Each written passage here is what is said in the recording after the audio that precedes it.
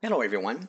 In this video I'm going to be giving you a preview of a new feature that I've been working on in TextMesh Pro, which is the multi-font and material support. And as the title says, uh, this will allow you to mix and match different font assets and materials within the same text object. So as you can see here in this example, we're actually using one, two, three, four, five different font assets in this text object.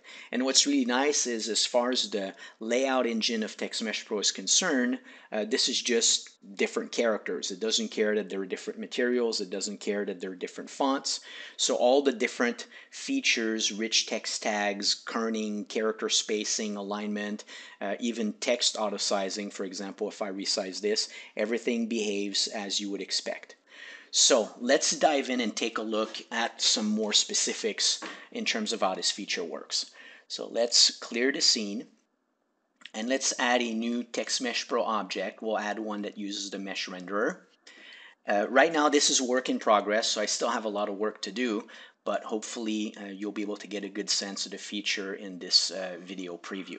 So let's start by typing a simple sentence, a simple line of text, I guess uh, I'm going to have more than one line, so it's going to be wrong, but uh, uh, in terms of what I'm typing, we're going to let that one slip. So let's enable uh, word wrapping.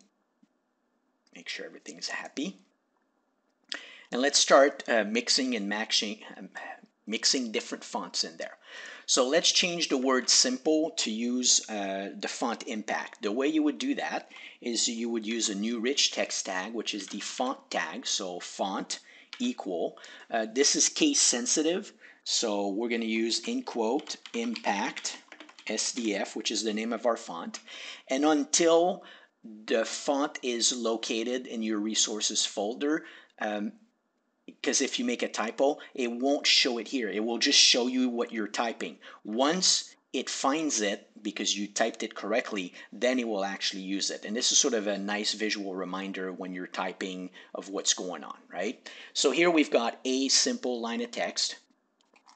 Now our character A, which is the Arial font, which is the default font assigned to our text object, as you can see, it's not using any shadow or anything because we're using the default material that's embedded in the font asset. Let's actually change that real quick so that we have a consistent look.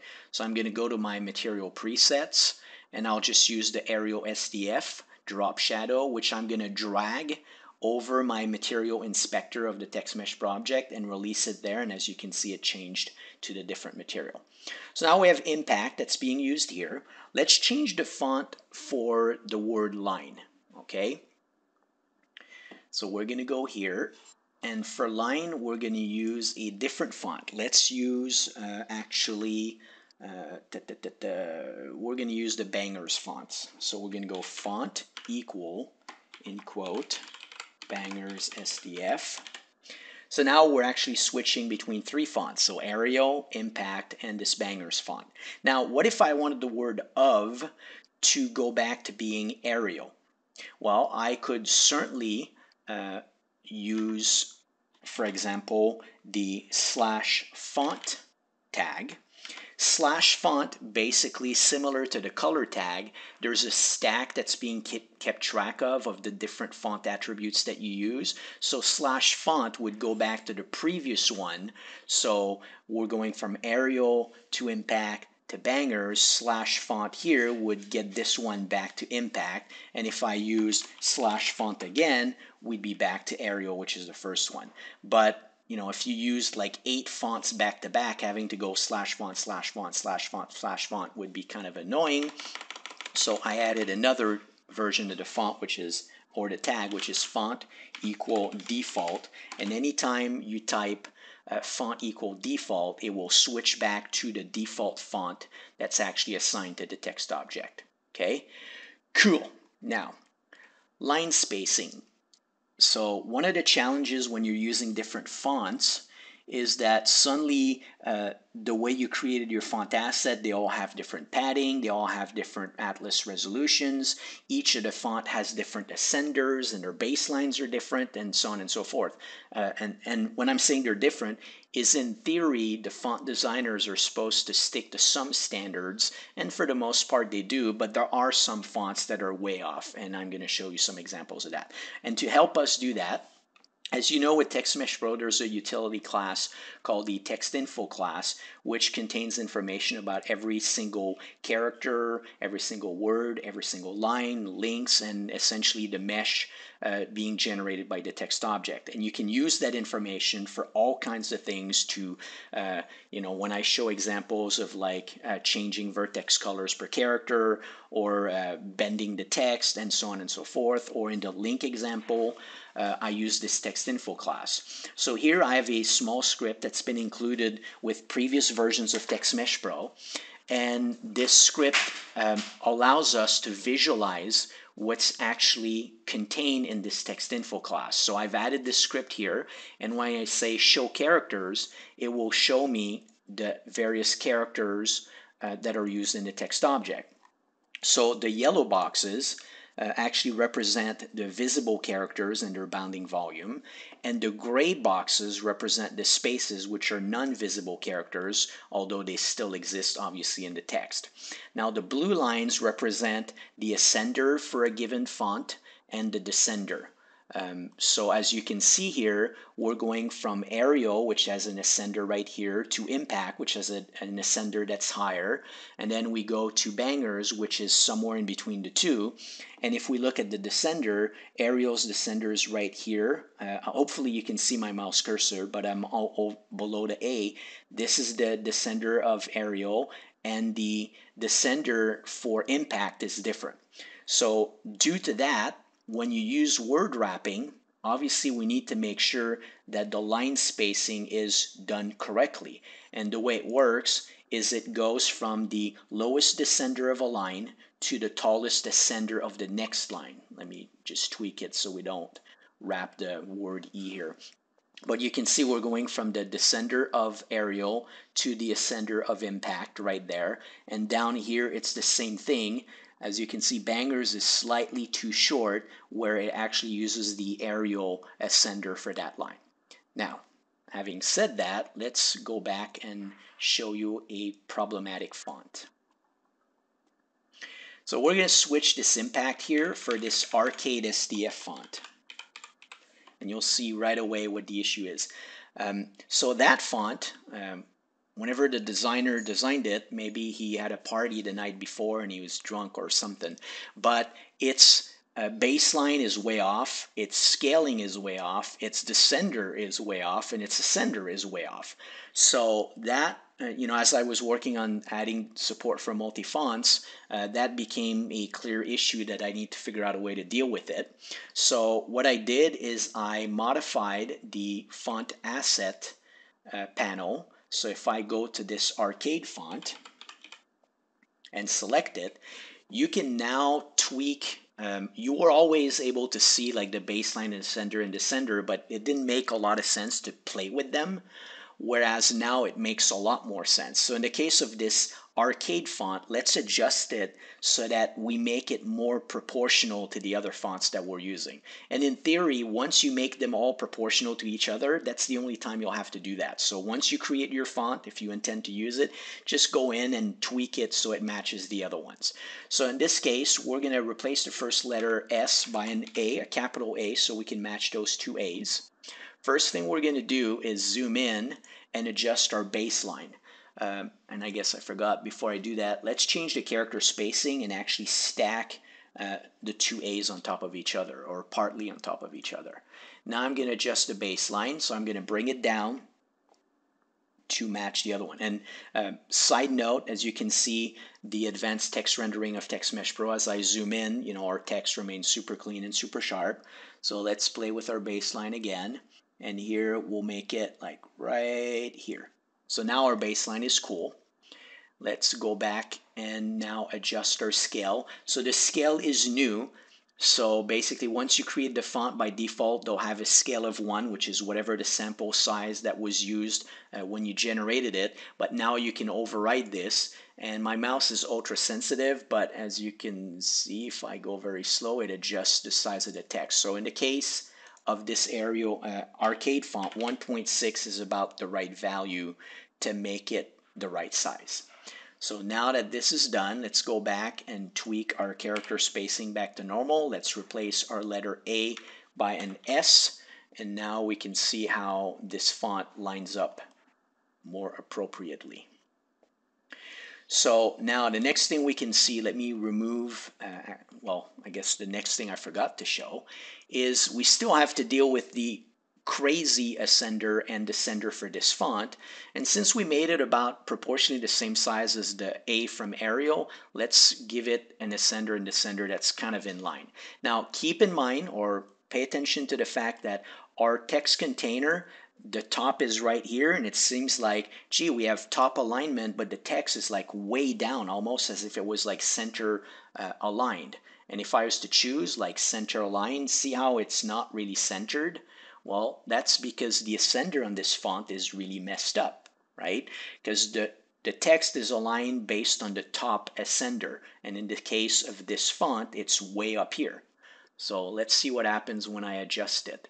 So when I go back and adjust our ascender, you'll see that now the text scoots up because we're actually aligning it. So we'll give it about the same ascender as Arial, which is, you know, the font's kind of shorter in nature, so we'll actually make it a little bit lower. In terms of the baseline, it's the same thing. If we look at the line spacing, it's using this crazy tall descender of this arcade font and lining up with the Arial one that's on this second line. So let's adjust its descender as well. And see where the letter P is?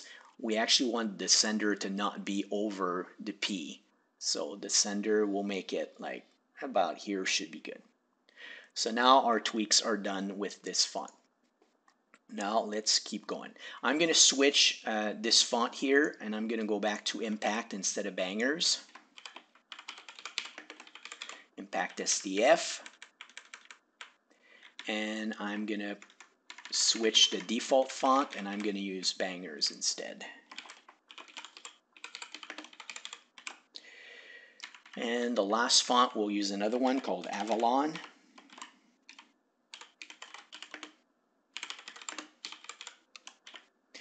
There we go. And let's push the word of, uh, like so would be good. And let me add, I forgot to add a space right here. Line of text. Good enough.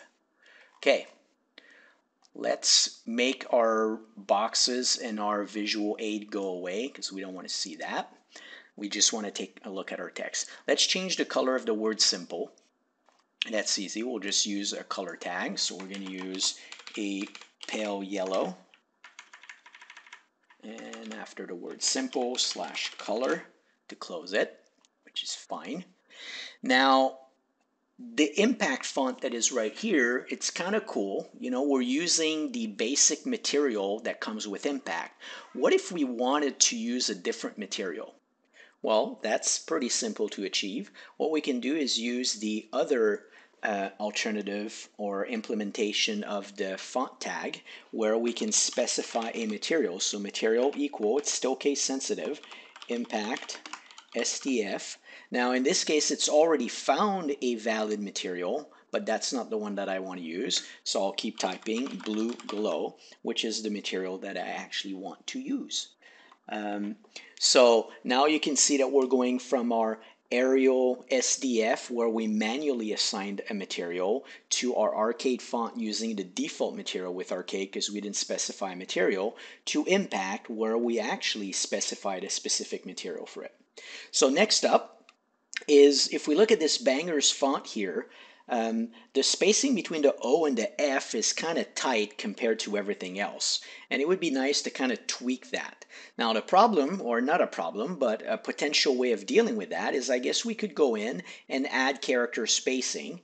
Now the problem with that is we're changing the spacing over everything, which is actually not what we want we could kind of, I guess, use the kerning feature and set up a kerning pair between the O and the F. Now, the problem with that is our issue isn't necessarily with the O and the F spacing, but rather how the spacing is of the bangers font.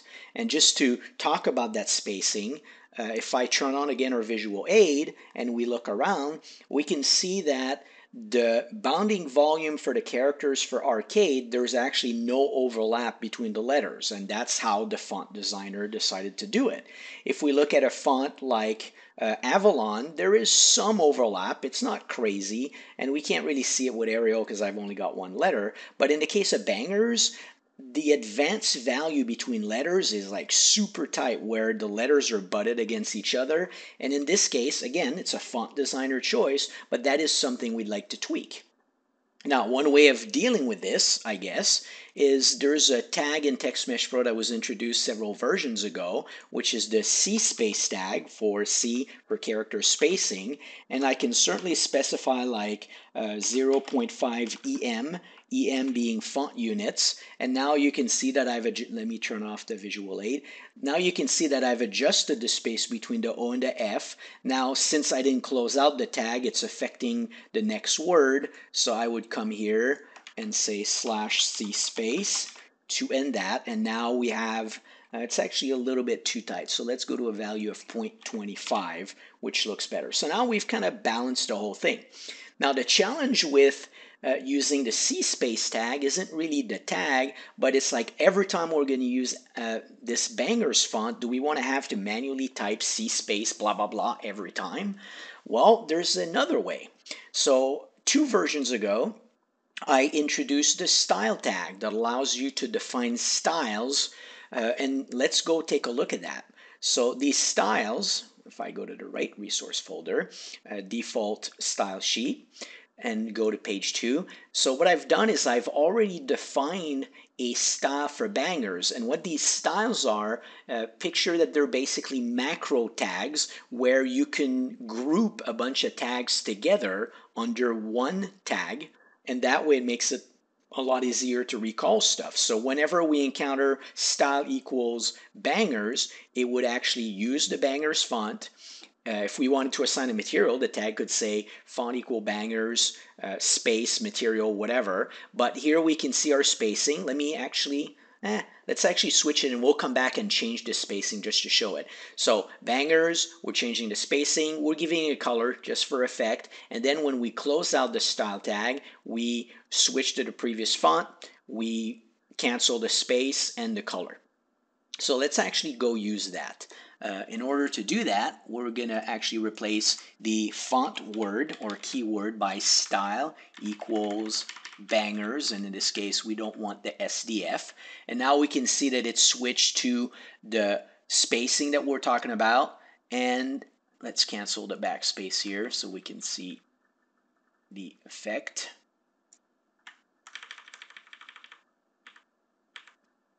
in our space. So now we can see that we have our spacing done and everything's good. Now the spacing continues afterwards because we didn't close out the tag. So after of, we want to go slash style, and this will cancel the blue and the spacing. But like I said, it's using 0.5 right now, which is not what we wanted. Let's go back in and see when we change this value, what happens. So instead of 0.5, I want 0.25, and you see that it, although, you know, changing the tag, the change automatically sort of ripple through the text object and it's been affected right there. So that's basically all the things I wanted to cover about this new feature. Please keep in mind that multi-font and material support that it's still work in progress. I still have a lot of stuff that I need to do, but I'm pretty pleased with how it's coming along right now. Um, it certainly behaves, you know, the way you would expect it. If I turn on auto sizing and start playing around, you can see that it's shrinking the text up to the minimum size. And let me zoom out and zoom to the maximum size, which is 72, and word wrapping and all the different things that we would expect are doing, you know, what they do. Uh, character spacing, you know, everything is behaving as you would expect. So basically that's it for this video. Hopefully you enjoyed it. If you have any comments, questions, or suggestions, please feel free to post. And thank you for watching.